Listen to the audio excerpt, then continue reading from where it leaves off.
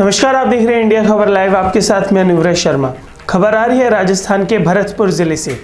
जी हाँ कामा कस्बे के इंद्रौली गाँव में महिलाओं को व्यावसायिक शिक्षा आधारित शिक्षा एवं प्रशिक्षण कार्यक्रम के अंतर्गत कटिंग एवं टेलरिंग के निशुल्क प्रशिक्षण कार्यालय का नेता राम मीणा ने फीता काटकर उद्घाटन किया, जिसमें कस्बे की 25 लड़कियों और महिलाओं ने प्रशिक्षण के लिए आवेदन भर कोर्स में दाखिला लिया है। संस्था द्वारा तीन माह का सिलाई प्रशिक्षण का कोर्स निःशुल्क प्रदान किया जाएगा।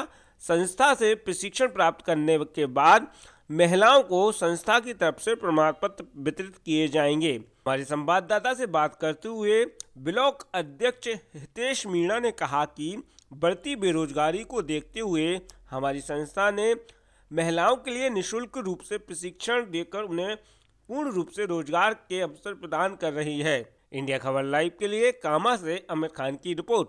अ, भरतपुर यहाँ पे महिलाओं के लिए निःशुल्क कटिंग एंड टेलरिंग का कोर्स कराया जा रहा है जिसमें सभी को निःशुल्क प्रशिक्षण दिया जाएगा जिसमें कटिंग वगैरह कपड़े की कटिंग और सिलाई वगैरह कैसे की जाती है वो सारा सब कुछ सिखाया जाएगा।